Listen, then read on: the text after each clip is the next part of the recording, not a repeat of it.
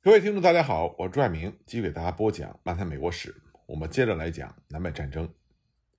林肯极力的敦促罗斯克兰斯，趁着南方军立足未稳的时候，迅速的攻击查塔努加。但是这位受到坚决支持的将军却坚持的认为，不修复全部的铁路和桥梁，不把新的后勤基地堆满物资，就不能向前推进。罗斯克兰斯还要求另外一支北方军同时从肯塔基向诺克斯维尔推进，来保护他的左翼。这就是伯恩赛德所指挥的那个新组建的俄亥俄军团。伯恩赛德在被解除了波特马克军团的指挥权之后，就被派往了西线。八月中旬，这两支南方军队开始向前推进。伯恩赛德的两万四千部队，迫使在数量上居于劣势的南方守军，要么呢就从诺斯维尔撤退，要么投降。多数守军投奔了驻扎在查塔努加周围的布雷格的主力部队。九月三日，伯恩赛德进入了诺斯维尔，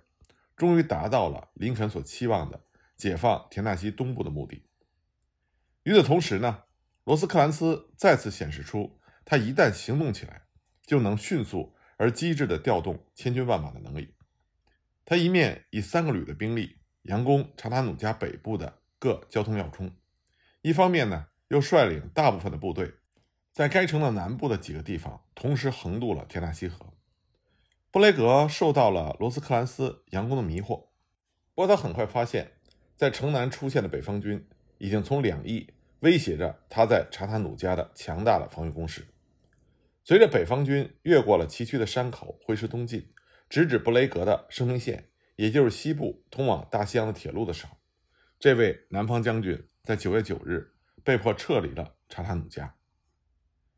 这是罗斯克兰斯在两个月之内。第二次把布雷格逼着离开战略要地，可现在战争的命运开始发生了变化，布雷格也开始施展他的骗术和诡计。他把逃兵派往了北方军的战线，来传播南方军士气低落以及撤退的谣言。罗斯克兰斯上当了，他急忙率领部队前进，以切断这想象中的撤退。他让手下的三个军分别穿过了相距各二十英里的山峡。然而布雷格并没有撤退，反而在查塔努加的东南方向集结了兵力，来打击彼此分离的北方军各部。布雷格这个时候已经得到了密西西比州的约翰斯顿两个师的增援，这就使他的总兵力和罗斯克兰斯相差无几。在里士满召开的一次重要会议上，戴维斯和罗伯特里决定让朗斯特里特再率领两个师驰援布雷格。南方铁路当局虽然条件有限，但是倾尽全力。把一万二千部队以及全部的装备、大炮和牲畜从弗吉尼亚州运到了乔治亚的北部。由于伯恩赛德的部队已经封锁了经由诺克斯维尔的近路，南方军的增援部队就不得不途经亚特兰大，沿着不同路段遭到破坏的铁路线绕道九百六十五英里，花了整整十天。最后呢，只有不到三分之二的部队按时抵达参加战斗。但是这些部队的到来起了决定性的作用。在朗斯特里特抵达之前，布雷格曾经有三次机会可以伏击罗斯克兰斯分散的部队，但是呢，他的军长们每次都找到了不执行进攻命令的借口。这些流产的南方军的调动，就使得罗斯克兰斯开始意识到他的危险处境。他命令各部队在查塔努加南面十二英里的奇克莫加河谷集结。随着朗斯特里特的第一个团在九月十八日下火车。南方军各部开始强行通过奇克莫加，企图包抄北方军的左翼，并且切断北方军和设在查塔努加基地的联系。第二天清晨，全面的战斗爆发。这次战斗在一定程度上是非常激烈，但是又是最令人迷惑不解的一次战斗。战场的很大一部分覆盖着茂密的树林和灌木丛，能见度有限，各师各旅都是各自为战。和全面的战斗计划没有什么明显的联系。一位北方军的将领把奇克莫加战斗说成是一场疯狂的非正规战斗，和大规模的游击战颇为相似。尽管双方都没有在九月十九日取得任何的优势，但是南方军的几次以师为单位的进攻，迫使北方军收缩防线。乔治·托马斯指挥的北方军的左翼承受着巨大的压力。托马斯预料南方军会在早晨再次攻击他这个军，所以他就说服了罗斯克兰斯加强左翼。布雷格当时的确也是打算袭击北方军的左翼，可是呢，他在九月二十日清晨的进攻发动迟缓，而托马斯则有援军助一臂之力，因此就打退了南方军一次又一次的进攻，双方都是伤亡惨重。后来呢，南方军的运气变好了，从而使战斗变得对他们有利。这是一位北方军的参谋，他并没有看见在弥漫着硝烟和树丛中列成阵势的北方的一个师，所以他就报告说，在那片树林中，北方军的右翼有一个缺口。罗斯克兰斯听到这个报告之后，马上就命令另外一个师前去堵住这个假想中的缺口。可是当这个师从阵地上撤下来，去填补那个实际上并不存在的缺口的时候，他原来驻防的地方却形成了真正的缺口。所以说，南方军的运气变好了，北方军自己出现了失误。正好呢，朗斯特里特就在这个时候，径直就向这个因为北方军的错误调动而造成的缺口发起了进攻。中午时分，叫喊着的南军突破了这个缺口，切断了两个北方师和其他部队的联系。猛击北方右翼的余部，并且眼看着就会攻击托马斯部队的背后，而这个时候，托马斯的部队还在拼命地对付正面的南方军。罗斯克兰斯和溃退的北方军的右翼部队不期而遇，他和各师的残部一起逃往查特努加。然而，托马斯仍然保持镇静，把三分之二的兵力坚持在阵地上。幸亏有两个后备旅及时赶到，这才使托马斯逃过了一场大劫。由于两个后备旅的增援，托马斯在北方军的右翼建立了新的防线，击退了南方军的好几次全力进攻。在夜里，北方军撤往了查塔努加，而托马斯也因为他非凡的指挥才干，得到了奇克莫加岩石的这个美名。奇克莫加之战是南方军一次重要的战术性的胜利。当时，罗斯克兰斯发电报告诉华盛顿：“我们遭到了极大的灾难。”消息传到李士满，激动人心。但是南方的胜利是以伤亡一万八千四百五十四人的代价换来的，这几乎占了这场战役中南方参战人数的百分之三十。北方军的伤亡几乎相等，但是北方的损失可以弥补，南方则不能。结果呢，奇克莫加战役成了南方军最后一个有意义的进攻性的胜利。这场胜利还表明，它是一场没有任何战略性后果的胜利。由于布雷格没有能够乘胜扩大战果，罗斯克兰斯仍然占据着查塔努加。相互的责难困扰着南方军的高级指挥层。由于布雷格没有能够利用朗斯特里特的突破，也由于他没有在第二天趁着北方军仍然混乱的时候再次发起进攻，布雷格麾下那些著名的将军们一起指责他作战的战术拙劣，而喜好争论并且经常吹毛求疵的布雷格。则指责他的几位部下行动迟缓或者不服从命令，他把两位军长撤了职。后来呢，争吵越来越激烈，杰斐逊·戴维斯为此专门从李士满长途跋涉到布雷格的司令部去平息这场争论。但是这位南方总统竟然把问题处理得极其糟糕，他当着布雷格的面询问每一个主要的将军是否认为部队需要一个新的统帅。那每个人都说要一个新的统帅，可是戴维斯却决定仍然由布雷格指挥。约翰斯顿和布雷加德是南方军数一数二的将领，都可以担当此任，但是他们并不被戴维斯所青睐。戴维斯仍然器重布雷格，可是当时并没有太多的人同意他的这个看法。齐格莫加战役结束之后，和戴维斯相比，林肯处理指挥问题。则显得更为灵活和巧妙。南方军这个时候已经把罗斯克兰斯围困在了查塔努加，布雷格的部队已经占领了该城东面的传教士岭，并且把大炮架到了山顶，从而控制住了西面和南面的全部道路。北方这个时候能够利用的唯一的供给线是一条迂回的道路，需要翻山越岭才能够到达北方。不过这条道路在雨天几乎是无法通行的。而且在任何气候条件下都非常容易受到南方军炮火的轰击。然而，联邦政府还是决定增援罗斯克兰斯。陆军部命令谢尔曼指挥一万七千人从密西西比州东进，并且用火车把波特马克军团的两万人从一千二百英里之外的弗吉尼亚调到查塔努加。林肯再次启用了胡克将军，让他在新战场上指挥波特马克军团的两个军。这场战争中让人印象最深的后勤成就，就是这次部队的调动。北方军从弗吉尼亚调往田纳西的部队，几乎是南方军上个月调动数量的两倍，而且距离更远，需要的时间却更短。不过，只要查塔努加的北方军得不到给养，增援再多的部队也是无济于事。卡莫兰军团将面临长期饥饿的危险。到了十月中旬，已经有数千匹战马死去，士兵的口粮也减到了定量的四分之一。齐格莫加的失利似乎让罗斯克兰斯一蹶不振，没有办法应付这场危机。十月十七日，林肯把从阿布拉契亚山脉到密西西比河之间的北方的所有军区。通通交给了格兰特全面指挥。格兰特的第一个行动就是让托马斯接替了罗斯克兰斯的职务，